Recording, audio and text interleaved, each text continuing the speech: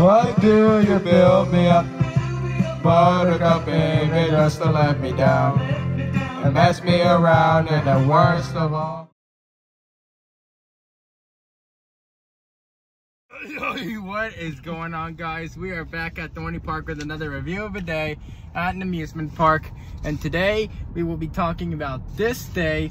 We just had at Dorney Park. So when we first got to Dorney Park we rode Iron Menace 11 more times and then after that we rode Possessed which had a failed failed launch and yeah, then Possessed was uh, not running great today and so anyways, after that, we headed to Tidal Wave Cafe for lunch where I got the pulled pork and mac and cheese. And then, um, uh, and then after that, we headed to the, the Patriots Plunge where I did red.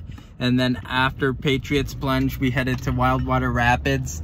And then after was it Aquablast actually? I think it might have been Aquablast. Yeah, it was Aquablast before Wildwater Rapids. Yeah and I and we got the Santa Claus tube, and then after that, and then after that, we headed to to Wildwater Rapids where I did the green slide, and then after the Wildwater Rapids green slide, we headed to Snake Pit where I did Constrictor, and then after Constrictor, we did Aquaracer, and then after Aquaracer, we Aqua Racer, we did the rewrite on Snake Pit where I rode Constrictor again.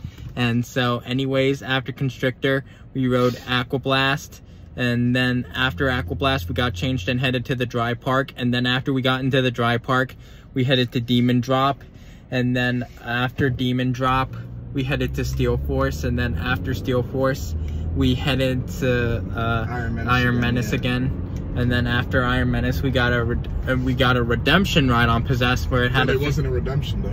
it failed launch again.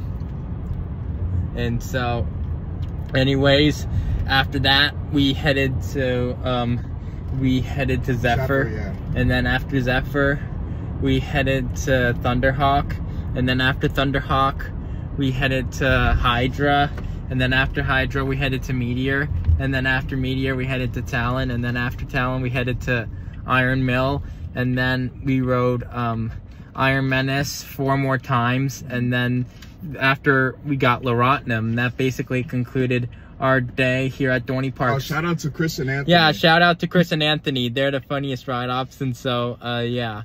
So anyways, that concludes this review of the day we had at Dorney Park. So make sure to reply to me your thoughts on this video and make sure to stay tuned for more coming soon to Coaster Plus Music 19.